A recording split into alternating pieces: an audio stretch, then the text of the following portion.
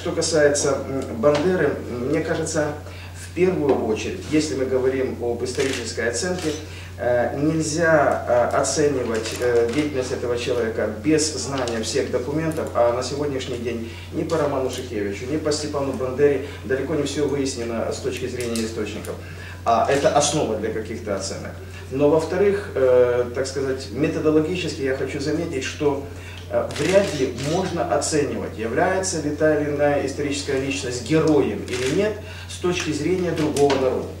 Потому что с точки зрения э, украинцев это будет одна позиция, с точки зрения поляков другая, евреев третья, русских э, э, четвертая. Ну, например, если э, в истории был Чингисхан, оценка славянами однозначно, оценка китайцами, э, которые испытали на себя монголо-татарское нашествие, э, тоже определенно. Но если стоит памятник Чингисхану в Монголии, это не надругательство над другими народами, потому что у монголов нет другого основателя э, монгольского государства. То же самое касается очень многих исторических персонажей, исторических личностей, которые являются героями для э, одних народов и злодеями, палачами для других. Так было в истории. И, кстати, вот в этой книжке, которую э, издал Центр Ткума, которая посвящена многим вопросам истории, значит, здесь есть э, соответствующий раздел э, «Герои та злодеи в истории народов». И э, об этом тоже можно э, поговорить. Ну так, герой чи злодій? Герой чи злодій?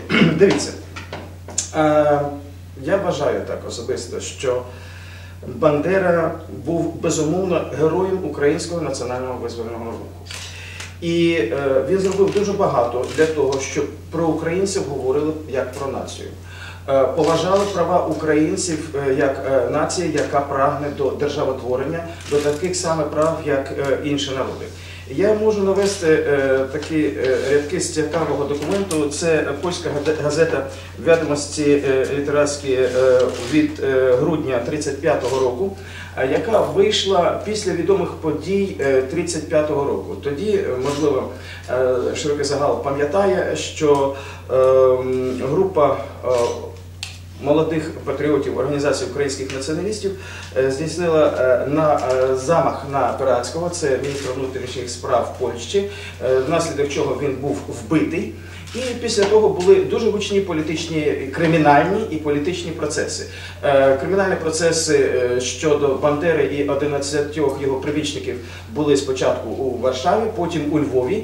У Варшаві Бандера і деякі його спільники отримали смертний вирок, який е, потім е, був замінений в зв'язку з амністією. У Львові е, так само було пожиттєве ув'язнення. Так ось, звичайно, що це вбивство воно було ну, шоком для усього польського суспільства. І були масові демонстрації, і напруженість у польсько-українських відносинах була надзвичайною. Але я хочу повернутися до рядків цієї газети. Е, тут сказано, е, що е, тепер три чверті польської преси, що протягом 17 років не хотіли знати слова український, протягом цих трьох тижнів навчилися цього слова і вже його не забудуть.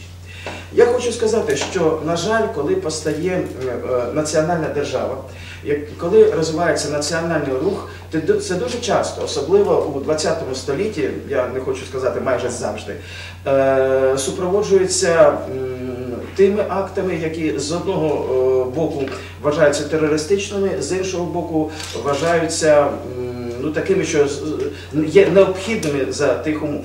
І е, такі і вбивства подібні, і збройні напади, і е, вибухи, які вносять життя не тільки політичних діячів, а й мирних е, мешканців, вони пов'язані із становленням будь-якої національної держави, будь-якої нації, чи то в Індії, чи то в Ізраїлі, чи то в Україні. І е, звичайно, що можливо шлях е, до розв'язання національного питання е, міг би бути інший, але ми зараз судимо з позиції сьогодення. коли ми засуджуємо насилля як таке, засуджуємо вбивство як таке. Але з точки зору конкретно історичного підходу, за умов, коли була ну, суспільна ворожнеча, коли вбивство вважалося політично доречним і доцільним, коли порушення будь-яких домовленостей було е, нормальним, е, і це так сприймалося, е, мабуть, не знайшли українські патріоти, у тому числі Степан Бандера, інших шляхів.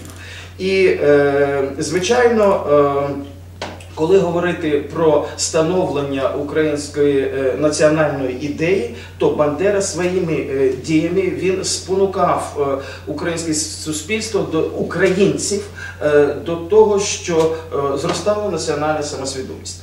Але я хотів би сказати таке: справжні національні лідери стають загальнолюдськими е, зразками е, тоді, коли вони зважають не тільки на інтереси своєї нації, а на інтереси е, націй сусідів, на інтереси інших суспільних угруповань, е, політичних е, і таке інше. На жаль, таких людей дуже набагато, таких лідерів е, дуже набагато. І Бандера безумовно до них не відноситься. Е, І що стосується будь-якого вчинку, будь-якої події, є абсолютно е, е, різні позиції. Стосовно, наприклад, того самого вбивства Пиратського, після чого, е, власне кажучи, ім'я Бандери стало загальновідомим, то польська історіографія видає Пиратського як людину, яка прагнула захистити права не тільки поляків, а й українців, яка прагнула до об'єднання польсько-української нації. Інша справа, можливо, це взагалі чи ні. А українська історіографія показує його е, справжнім катом українського населення, який проводив політику пацифікації, знущання і, і ідейного, і, і, і духовного, і фізичного знущання е, над українським населенням, внаслідок чого і було прийнято таке рішення. Що стосується ставлення Бандери до євреїв, то я хотів би це знов таки розглянути в загальноісторичному контексті. Коли мова йде про е, становлення національної держави, то провідники цієї ідеї вони опікуються передусім інтересами своєї нації, а інші нації, інші спільноти розглядаються з точки зору, вони сприяють досягненню мети, чи ні. І з цієї точки зору ставлення було відповідне у Бандери та е, його соратників і до євреїв, і до росіян, і до поляків. Ну, найбільшими ворогами вважалися поляки. Значить, е, коли після 39-го року було встановлено е, радянський режим в Західній Україні, євреї сприймалися як провідники. Е, ем, радянських нових порядків, правда це чи ні, це інше питання. Так воно сприймалося. Ну і е, що стосується німців, то е, Українці справді не могли здобути е, незалежність, не могли навіть мріяти про це без того, щоб укладатися союз з якоюсь іншою силою. Це могла бути або Польща, або Німеччина, або Росія. Звичайно, що ані Росія, ані Польща аж ніяк до цього позитивно не ставились, і були якісь ілюзії щодо Німеччини, у тому числі після приходу Гітлера е, до влади.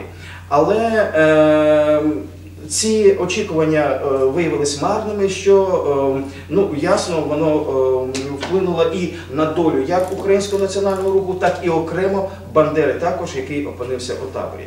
Ну я можу говорити і більш детально. Ну, в общем-то, понятна, да, ваша позиція. Спасибо большое.